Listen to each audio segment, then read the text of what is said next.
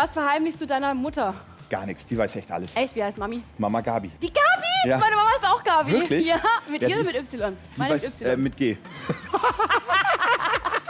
Wirklich jetzt? Mit I oder mit Y? Ja, mit I.